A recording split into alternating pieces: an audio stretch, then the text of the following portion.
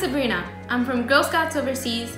I live in Nice in the south of France, near Monaco, and I'm a Cadette Girl Scout. Do you know what the word government means? It's a big word for something important.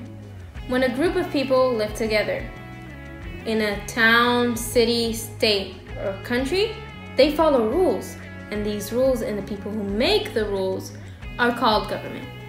Today, you're going to learn about the president and create a model or drawing of the house that the president and his family live in. This is one step in the new DAISY badge, Democracy for Daisies. Please plan 30 to 45 minutes to complete this activity. The only supplies you'll need are paper, pencils, markers, paint, and modeling clay, which is optional. Ready to go? Let's get started. The government of the United States is divided in three parts. They are called the three branches of government, like parts of a tree. One branch is the office of the president. Anyone over the age of 18 can vote for the president of the United States every four years. There are three big rules about who is allowed to be president of the United States. The president must be born a citizen of the United States, be at least 35 years old, have lived in the United States for at least 14 years. That's it. The president can be a man or a woman. It doesn't matter where in the United States they live, what they look like, or anything else.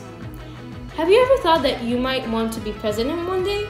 Or do you think you know someone who you think might make a great president. Every president moves into the White House. this is it is a special house in the capital of the United States, Washington D.C. They live and work there until a new president is elected. Have an adult help you find pictures of the White House, like this one.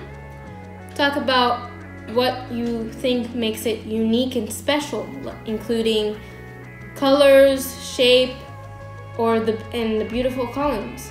Then, with your family and Girl Scout friends, draw or paint your own picture of it or build it out of clay. And that's it. Let's think about what we just did. What else do you want to know about being president? Ask your family to help you learn more ab- about the president's job. Would you want to be president one day? How can you share what you've learned with other girls? Congratulations! You've successfully completed one step in the Democracy for Daisies badge. If you like this video, please share it with another girl. And if you're not a Girl Scout yet, please join us. You can go to girlscout.org to learn more. Thanks for watching.